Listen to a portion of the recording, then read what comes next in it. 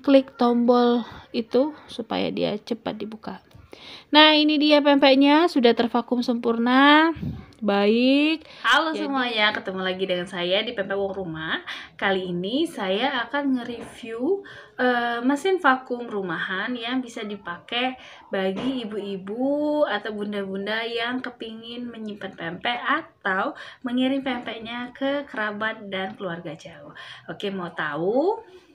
Mesin vakum seperti apa yang bisa digunakan dengan harga yang terjangkau? Tonton terus videonya ya dan jangan lupa dukung terus kami dengan subscribe dan like video kami. Terima kasih Nah, di sini saya mempunyai dua jenis mesin vakum rumahan yang bisa dipakai.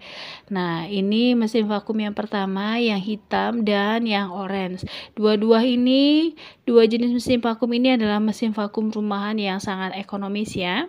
Nah, jadi bagi pemula eh, para penjual pempek pemula eh, tidak perlu khawatir kalau misalnya eh, mesin vakum seperti apa sih yang harus dibeli. Tidak perlu bermodal yang sangat besar harus membeli yang dengan harga mahal. Tidak.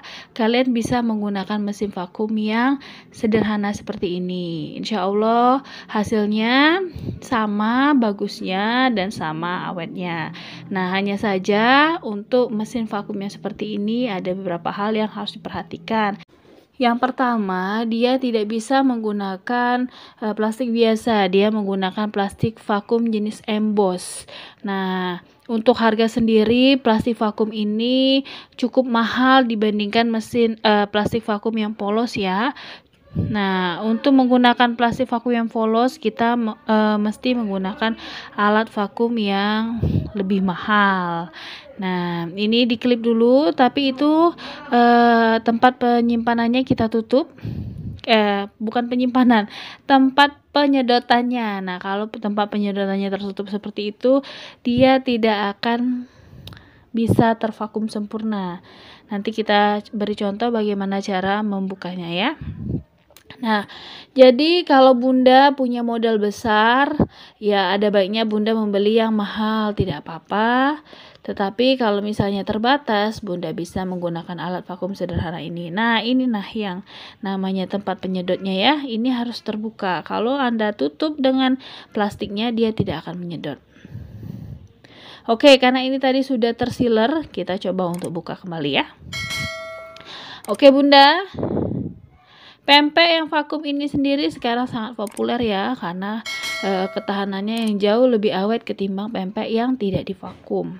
Oleh karena itu banyak orang-orang sekarang yang menggunakan mesin ini untuk mengawetkan makanan tidak hanya pempek tetapi segala jenis makanan ya karena dia menyedot udara dan membuat e, makanan menjadi jauh lebih aman dan awet.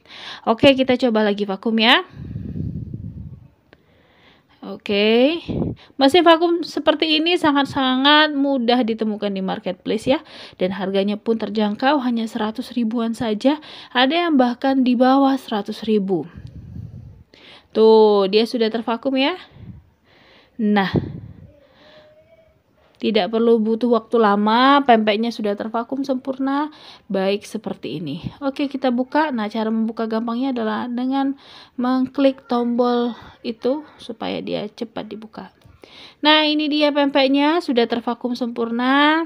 Baik, jadi jangan khawatir untuk menggunakan alat vakum rumahan seperti ini karena ini sangat bisa direkomendasikan.